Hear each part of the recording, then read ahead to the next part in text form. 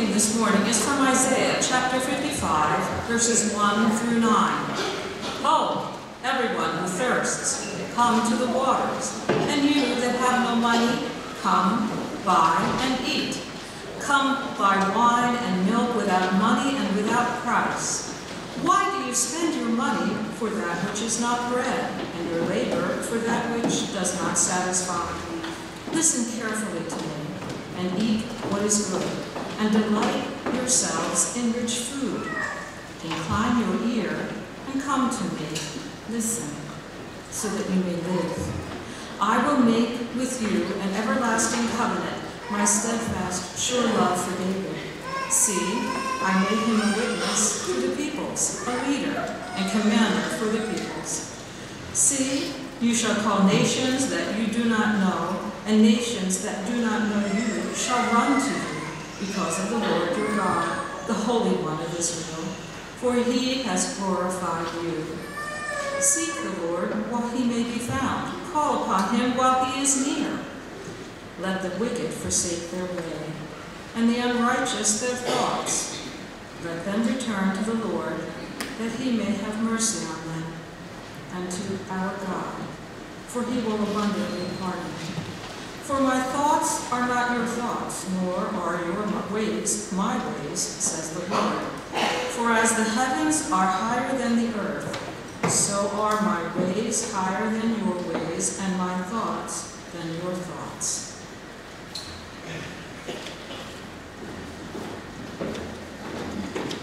Our New Testament reading comes from the book of Philippians, chapter 3, verses 4b through 14. I say 4b because uh, verse 4 or verse uh, verse 3 kind of cuts right off in the middle of a sentence, and so we're just going to start with the beginning of new sentences. And that's what it means when, when we say 4b or c, is there's a, a division within the verse uh, that's usually pretty clear.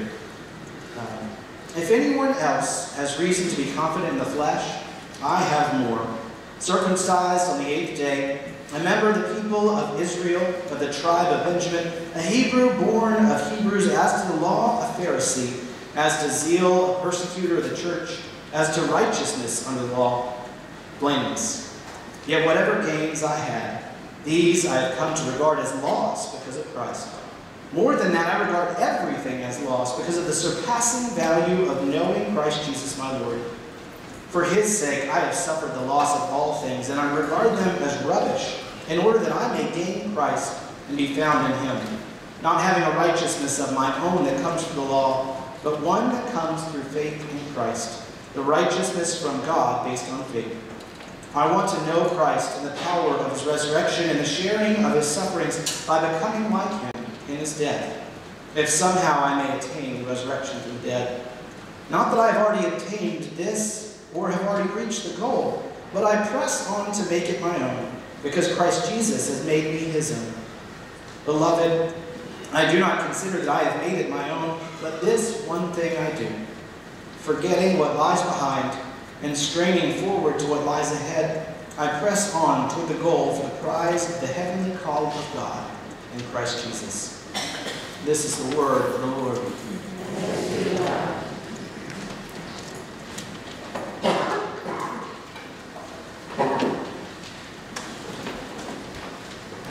The term white privilege, has anybody heard that before? Does anybody know where it comes from? It comes from this one essay uh, in 1989 written by a woman named Peggy McIntosh. And uh, she was somebody who worked in, in gender studies, primarily academic, and she said, I noticed something in, in, in gender studies that, that sort of uh, that frustrated me. It was whenever I talked to, to men about uh, gender bias and, and issues in, in the workplace and the environment and things like that, they're always happy to acknowledge or, willing to acknowledge uh, that it affects women negatively. But they never are willing to accept or willing to acknowledge that it can affect men positively. That is, when, when people suggest that somebody benefits from some sort of privilege, they uh, immediately get defensive and, and, angry and frustrated. They, they want to reject that idea. And she said it made her think. She's, uh, she's white, and, and she said, it made me think about race. When, um, when I think about race issues, do I have the same sort of blinders on that men did when they thought about women's issues. That is, I, I see racism as a problem, but do I notice, or, or how do I uh, notice when it affects me in a positive way? And so she, she decided, just as an exercise, to start jotting down the things that she could do or expect that uh, a, a black woman in her situation could not expect or would not have the opportunity to have. It wasn't, it wasn't like an exhaustive list or anything. It was just 26 things. It, it, it wasn't huge, but um, it, was, it was just an, an exercise. And she noticed, um, just off the top of her head, if, if she were to, to be in a place and asked to speak to the person in charge, chances are it would be somebody of her race. If, uh, if she wants to, she could arrange to be around people of her own race pretty much all the time without it having any real negative effect on her career or social prospects wouldn't, wouldn't interfere with her life all that much. Uh, she can easily find uh, band-aids, toys, books, and dolls that represent people that look like her or her race. And, and she comes around and she says, this is sort of like an invisible knapsack. I don't, I don't know why she used knapsack instead of backpack, but um, an, invisible knapsack is, is sort of just the, the, the things that we carry around with us that we don't realize we're carrying. Um, and it's a sort of um, a collection of passports and, code books and, and, maps that make it easy for us to move smoothly through the world. Um, and, and the process of looking at this for her was eye-opening.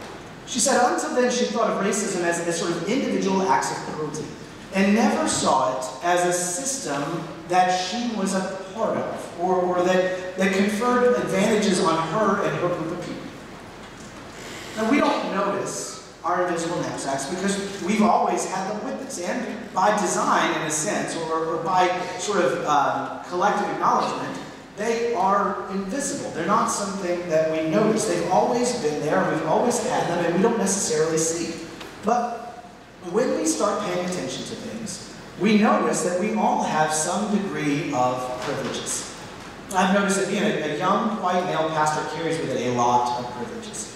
When, um, when I don't do a, a, very good job at work or when I'm distracted at work because of my kids, people tell me, oh, he's such a good dad. when my female colleagues do the same thing, they get told they need to be more professional in their life. Nobody, nobody ever tells me when, when my family comes or I bring friends that look like me that it made them uncomfortable to be at church today. When I tell people that I'm a pastor, everybody believes me. They, you know, they, they just look at me and they say, oh yeah, that fits. Nobody ever insists on calling me assistant pastor, even though I'm clearly the only one here. Nobody ever introduces me to their friends as a, a man pastor, in the, in the way that sometimes women get introduced as lady pastors. The most obvious time my, my privilege has been clear for me is I took Jane when she was a little baby, she was about four months, in an airport. Uh, we were flying to Oklahoma, and, and people dropped everything to help me. It was, it was astounding. The, the, the gate agents would rearrange people's seats so that I could have an empty seat next to me for the baby that made it a little bit easier. An old lady offered to carry my suitcases. and I said, yeah.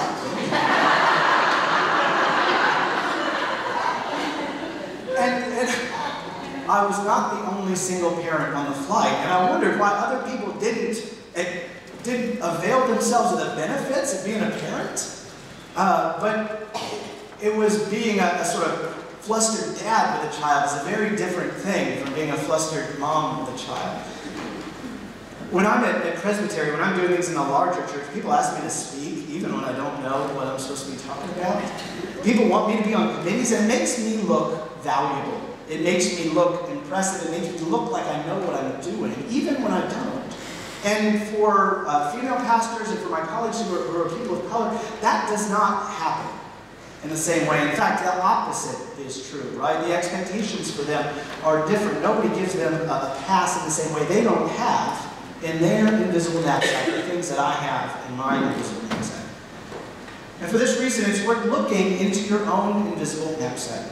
In, in what, in terms of what advantages that you have that maybe you haven't thought about, and what spaces that you're comfortable in that other people aren't comfortable in. Being a, a, a Christian, being a Protestant Christian especially, is, is uh, has its own collection of, of privileges.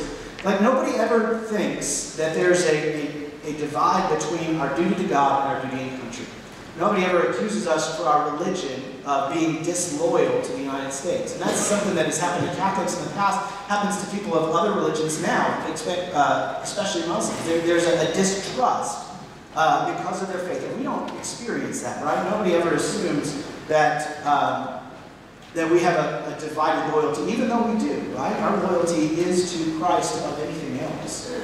Um, it's not something we can get rid of, right? It's, it's how other people treat us. I can't go to the airport and say, no, no, no, no, could you treat me as a, as a woman instead of a man today? It feels unfair. We, we can't take off our invisible knapsack. We can't get rid of it. It's just something that we have. So the question becomes, what do you do? With it? And Paul, in this passage of Philippians, wants us to know that he has the biggest, most impressive knapsack you can possibly imagine.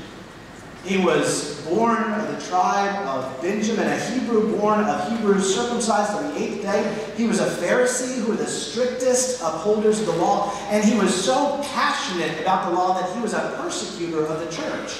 He was trained under the Rabbi Gamaliel, who was this famous rabbi who was very impressive. His parents had all the money that they needed to send him to the finest schools. His birth was so impressive that Romans were sometimes afraid to, to do things to him. He had all of the privileges, and beyond all that, he was a Roman citizen. And being a Roman citizen was, was maybe the biggest privilege of all of these things, because Roman citizens have all of these special advantages that other people don't have. Uh, they could never be beaten. It was forbidden for a Roman citizen to be beaten. Roman citizens were guaranteed the right to a trial. They were guaranteed the right to uh, appeal the results of a trial all the way up to Rome. Now, other, other people didn't enjoy that privilege. The Roman state was built essentially to benefit citizens, and it was built at the expense of non-citizens, the, the, the colonized people, the territories that they conquered. And so Paul had this vast amount of privilege. He has an incredible amount of privilege for a Jew living in the first century.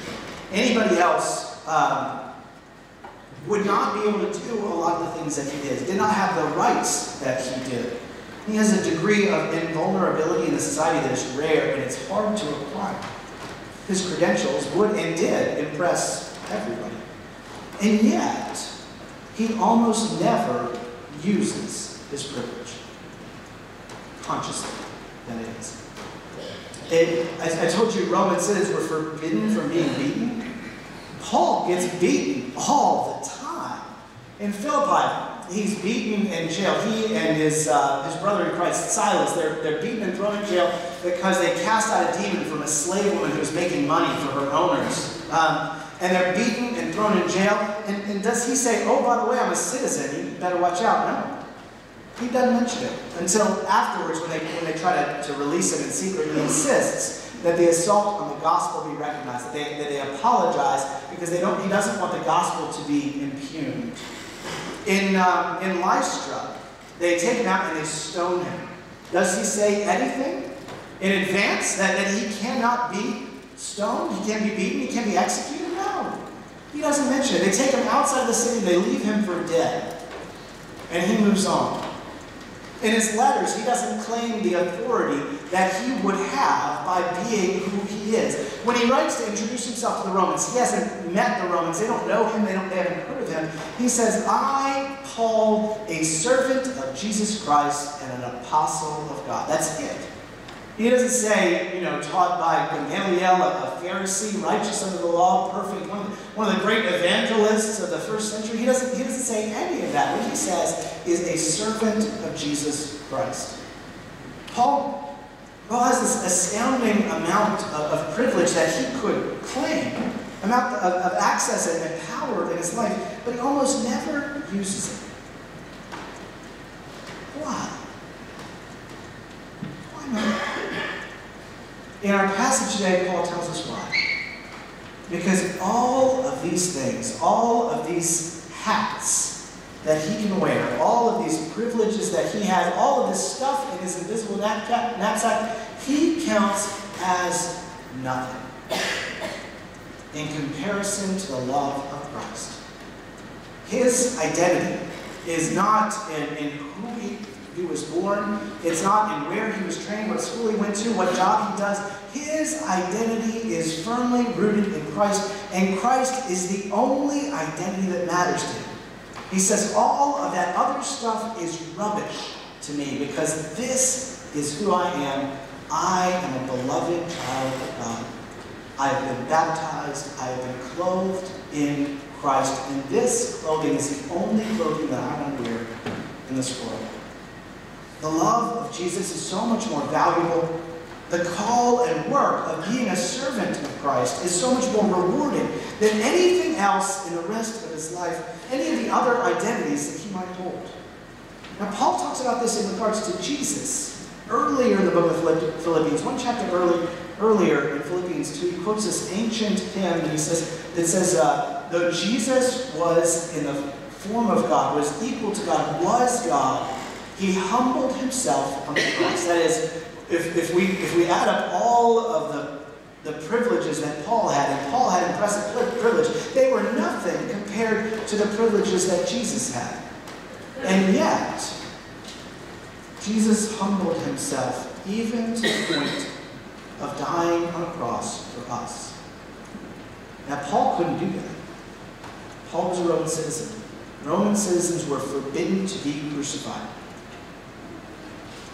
All Paul could do was, as best as he could, choose his identity in Christ over other identities, choose to suffer alongside his partners in ministry over freeing himself from suffering using his own privilege.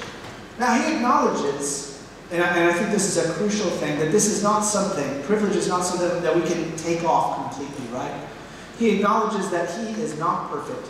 He has not obtained the goal that he would like to, to attain, which is perfect unity with himself and Christ. But he presses on towards the goal. It is an active work that we must do to take on the identity of Christ and to release the other identities that we're so tempted to hold on to and cling to in our lives. Now, I've been hedging a little bit, right? I said Paul almost never uses his privilege. Now, there's two um, two aspects of this. One is that you don't, you don't always have control over it, right? Um, Paul can consciously let go of as much privilege as he possibly can, but still, people are going to treat him differently, going to, look at him differently, going to act differently around him. So he can't, he can't take it off completely. The other thing is there are two times when Paul does use privilege. One, I already mentioned, right? And the other time comes at the end of the book of Acts. Paul gets arrested in Jerusalem on some trumped up charges. And, and they take him over uh, to the governor. The governor holds him for two years, and then there's a new governor that comes in. And the new governor says, I'm going to hold a trial. Um, so he brings all of uh, the, his accusers up, and uh, the new governor's named Festus, he's a Roman governor. He looks at it, he says, Look, this, this sounds like disagreement over doctrine. This sounds like something that is not my problem or my business. But before the sentence can be carried out, Paul appeals to the emperor. Before the sentence can be made, Paul appeals to the emperor, right? That's his right as a Roman citizen. He can appeal things to a higher court. Now, why he does so, when it's so clear to the Roman governor that he has broken no laws, he's done no wrong, he is in no trouble, is a mystery, right? Until we start to listen to what Paul has been saying, he's been saying, I want to go to Rome. I want to get to Rome. Rome is somewhere where I feel called to be. Jesus has been telling me that I need to get myself to Rome. And where does the emperor live? Rome. When Paul finally uses his privilege, it's not to save his own skin. It's not to escape a beating or a stoning or protect himself. Paul uses his privilege to stay in prison. Paul uses his privilege so that he might suffer on behalf of Christ and he might go where Christ has called him, where Christ has sent him. Because doing so will allow him to be a servant of Christ. He knows that he might be signing his own death warrant. And the truth is, at the end of the book of Acts, we know that Paul gets to Rome, we know that Paul stays in prison, and we don't know anything else that happens. That's it. It's the last we hear. We don't. We don't have a choice about who we are or how people treat us, whether it's, it's kindly or not because of who we are. But we do have a choice as to what identity we will place in front of and above all other identities. And for us, that identity is Christ. And Christ had all of the privileges in the world, and yet he let go of all of them so that he could come and be with us and suffer with us so that we would know that our suffering is touched by, is loved by, is blessed by God, so that we could be lifted up to his power and privilege in the promises of God, so that we might be united with him. And in these choices, which we make every day as we try to run the race that has been set before us, may we be like Paul, and may we be like Jesus, who chose suffering in love, clothing themselves in the love of God revealed in our baptisms, and made themselves love that we might be lifted up. As you go forth from this place, I invite you to go forth putting on Christ shedding whatever other hats that you might have, and placing this identity above all and for all and through all so that we might make ourselves one as Jesus did with all who suffer and be like him in our life and in our death and be joined with him in our resurrection. In the name of the Father and the Son and the Holy Spirit.